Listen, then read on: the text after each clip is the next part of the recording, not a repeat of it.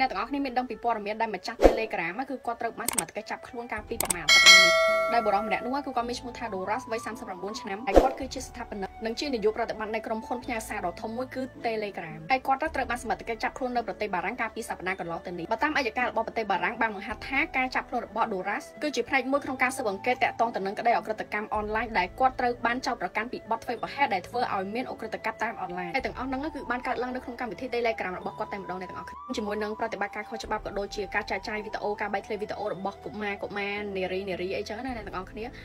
មានដូចជាក្រុម18បូកហើយក្រុមមេអំបៅក្រុមអីហ្នឹងអ្នកទាំងអស់គ្នាអ្នកដែលគាត់លេង Telegram ខ្ញុំគាត់ថា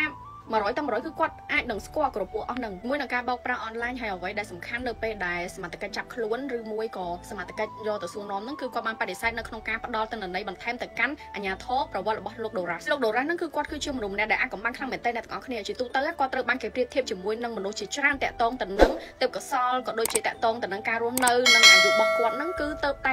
39ឆ្នាំទេប៉ុន្តែគេចាត់ទុកគាត់នឹងរបៀបថាដូចលោក Mark Zuckerberg មួយក៏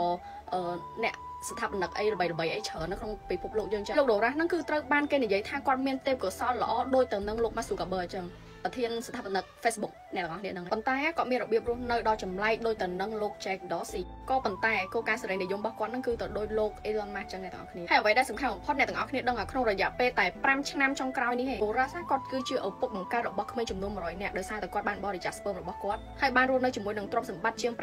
9.2លានដុល្លារសហរដ្ឋអាមេរិកហើយនឹងលិខិតឆ្លងដែននៃសញ្ជាតិផ្សេងៗគ្នាជាច្រើនដែលគេបាននិយាយថា Boras គឺគាត់បានរស់នៅដោយគ្មានព្រំដែនអស់រយៈពេលជាមួយទសវត្សរ៍កន្លងមកនេះហើយជារឿយៗគាត់បានធ្វើយុទ្ធនាការដើម្បីសេរីភាពក្នុងទំនាក់ទំនងហើយក៏អត់ឲ្យរដ្ឋាភិបាលនឹងឆក់ឬមួយក៏ឆ្លៀតពៀននៅក្នុងការធ្វើការរបស់គាត់បានដូចគ្នាដែរប៉ុន្តែតាមព័ត៌មានចុងក្រោយគឺគេបាននិយាយថាលោក Doras សមាជសមត្ថកិច្ចខាងបារាំងហ្នឹងគឺត្រូវបានដោះលែងខ្លួនគាត់ឲ្យនៅក្រៅឃុំប៉ុន្តែរឿងក្តីរបស់គាត់បន្តដំណើរការយ៉ាងណាទៀតអញ្ចឹងមានតែតាមដានទស្សនានៅវីដេអូបន្តជួបគ្នានៅវីដេអូក្រោយ